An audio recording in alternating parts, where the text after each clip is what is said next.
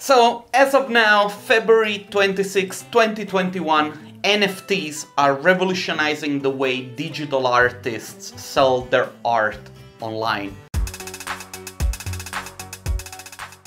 I have talked to a couple of friends. Beeple told me that they made 40 grand in two weeks. People himself made three and a half million in just one weekend. I know artists who are dropping beautiful pieces every day and they're selling them for five, six, seven thousand dollars every single day. And then there are stories like mine, which are losers' stories.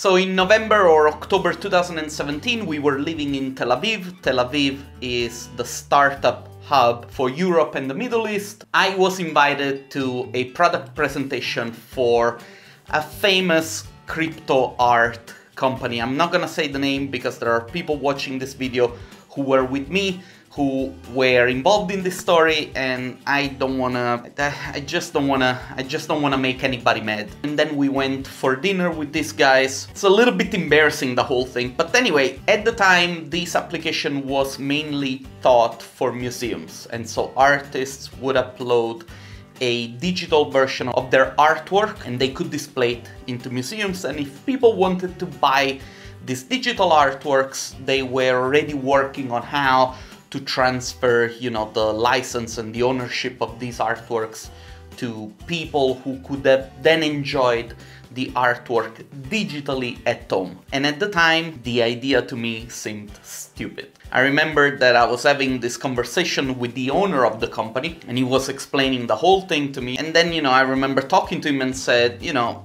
I'm working for Chaos Group, the makers of V-Ray. And the guy was basically blank, like, he did not know what I was talking about. Then I told him, you know, I'm a digital creator, I do 3D, and so I showed him the renderings that I had on Behance back then, and he was looking at these renderings and he was like, so you mean that these are not pictures, these are renderings? And I was like, what is he talking about? Like, you know, I have some renderings that are okay, but for my own taste, I think it was a little bit overreacting. But anyway, it doesn't matter. At that point I asked him, can I take a look at the application? Do you have it on your phone? Because one of the integrations that this application had was VR and so you could project things from the phone directly to say a wall or a piece of furniture. And so he said to me, well, you know, I have some of the artworks that uh, the, the painters that we're working with and the sculptors that we're working with they did in 3D and they gave them to us so that we could um, showcase the, the product to investors. And so he opens up the application and he shows me a pyramid, a sphere, and a cube.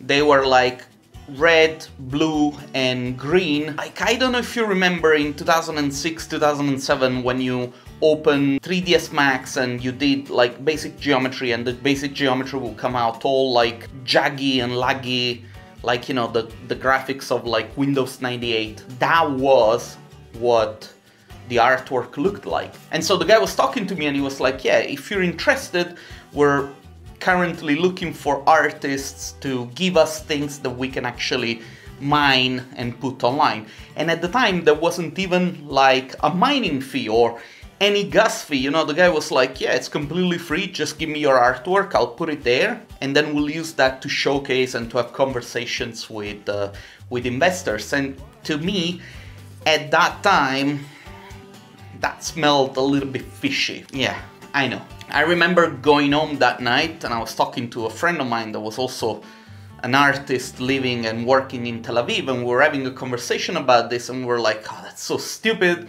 how can people raise money with such stupid ideas? And then along comes Beeple, makes this three and a half million flash sale over a weekend, and the crypto art world basically just changes. Now, why am I making this video? There is no silver lining and there is no... and I'm not really making myself look good by saying these things. I'm saying this because it is a good reminder for ourselves that even though you might think of yourself as an expert and as somebody that understands the field that you're in, that more often than not, you can get things wrong also. And so now I'm looking back at this thing and I'm regretting not jumping on this a little bit earlier. But even more, I'm regretting the fact that mentally I wasn't really able to understand what these guys were talking about.